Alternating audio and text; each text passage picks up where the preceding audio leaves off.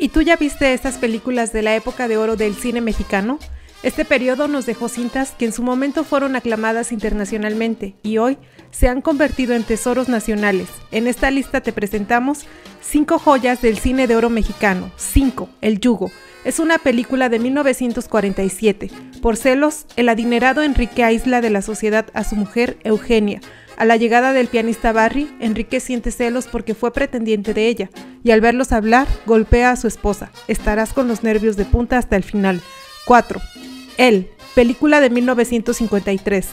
Francisco Galván es un joven soltero religioso de buena posición social. Un jueves santo, en la iglesia, durante la ceremonia del lavatorio de los pies, su mirada se detiene en los pies de Gloria. A partir de ese momento la buscará y enamorará.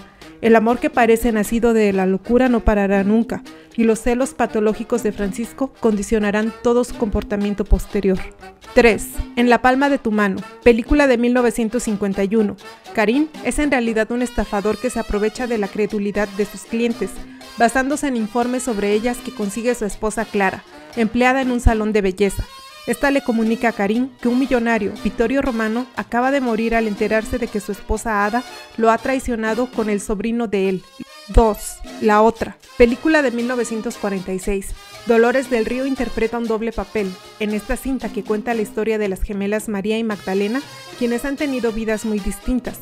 Mientras la primera es una humilde manicurista, la segunda ha heredado una millonaria fortuna de su esposo recién fallecido. Debido al rencor que María le tiene a su hermana, toma la decisión de matarla y hacerse pasar por ella. Sin embargo, luego de ocupar su lugar, descubre una serie de actos delictivos en los que Magdalena estaba involucrada, mismos que la llevarán a enfrentarse a una realidad que no imaginaba. 1. Crimen y castigo adaptación de la novela con el mismo nombre, con el escenario actualizado a una ciudad de México. Ramón Bernal, un estudiante de Derecho que cursa sus estudios en la Universidad de México, se ha quedado sin dinero con el poder seguir costeándose los estudios, lo cual le crea un gran sentimiento de impotencia, pues él se siente de sobras capacitado para aprobar la carrera.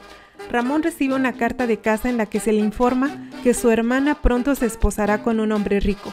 Esta noticia tiene el inesperado efecto de amargar el humor de Ramón, que supone que todo se hace por dinero y que debería ser él, como hermano, quien ayudara a su familia.